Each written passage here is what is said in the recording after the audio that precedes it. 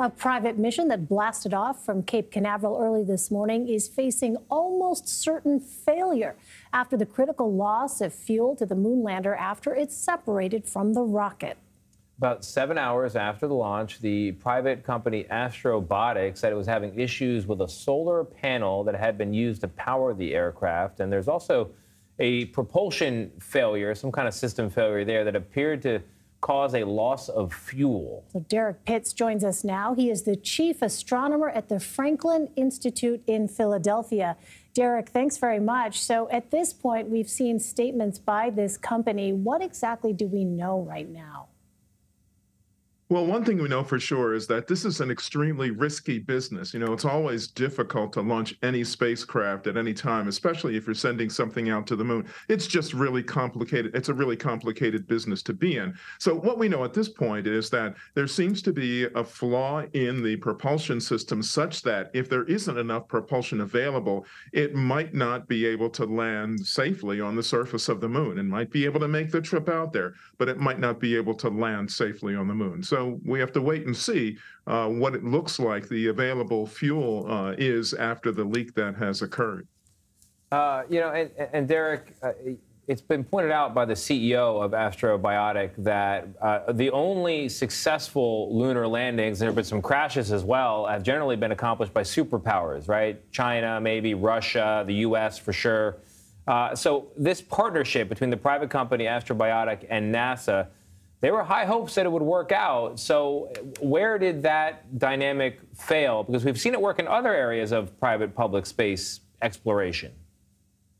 Yeah, and there's no question that it will eventually work out in this particular space as well. This is the first time around. I mean, you just think about the fact that this is the first time that Astrobotic has actually created a lander like this. It's a very complicated lander that has lots of different payloads on it. And the rocket itself, the uh, Vulcan Centaur rocket, this was the first launch for Vulcan Centaur. That part went just fine, but this is the first for the Peregrine. So you know, I think everybody realized that there was a chance that, you know, something might fail. And, uh, you know, here it's manifested itself. But going forward, what will happen is they'll beat out whatever the bugs are and figure out how to make it work properly each and every time. If you look at what SpaceX has done, theirs has always been a process of iteration after iteration with a number of rockets exploding on the path because before they became as successful as they are with, uh, with launchings, with so many launchings happening with them successfully. Derrick, remind us what this mission was initially about. What was on board? Well, what was on board the spacecraft were a number of instruments, uh, scientific packages, and, uh, and and equipment for testing the environment and the atmosphere of the moon. NASA had six scientific, uh, five scientific experiments on board, and there were a number of other uh, packages on board, such as a number of, of rovers from Carnegie Mellon University, and there were atmospheric testing packages, and there were also packages from a company called Celestis of uh, uh, DNA residual, if you will, uh, remnants of uh, people who'd passed away, who you know expressed a desire, or their families expressed a desire for this to be their final journey to space. And so what you had were the DNA remains of people that were going to be landed on the surface of the moon. Very, very small packages, but all in all, there were 21 different uh, packages and experiments on board that would, uh, that would be deployed uh, at the moon or in the moon's atmosphere.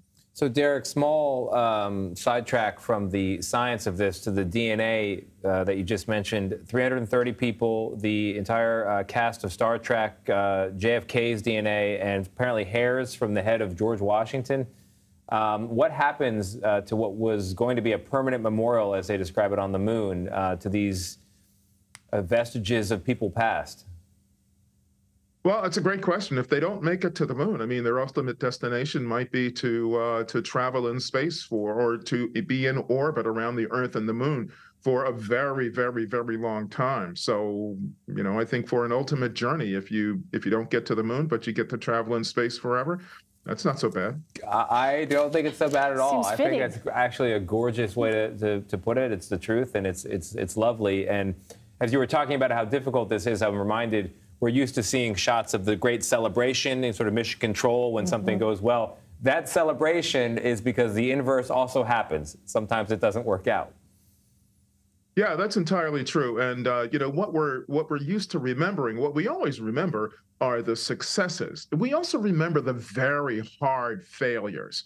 You know, if lives are lost, that certainly stands out and always should guide. You know, our our our, our work to try to drive risk in any of this to zero.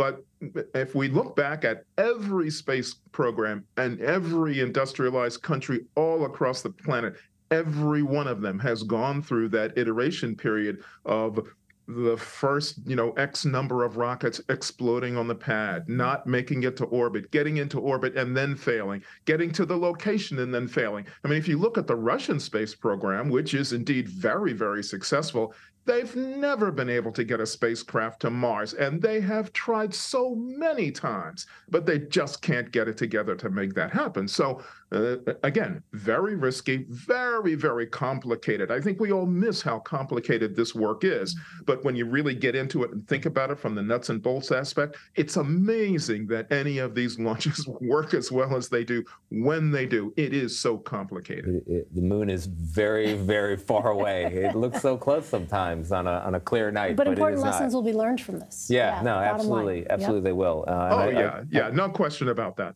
Yeah, I feel inspired just talking about it. Uh, Derrick Pitts, I'm going to be updating my will. No more spreading the ashes in the Pacific Ocean. I want to be on an eternal voyage. Thank you very much. Sounds like a great trip. Thank you.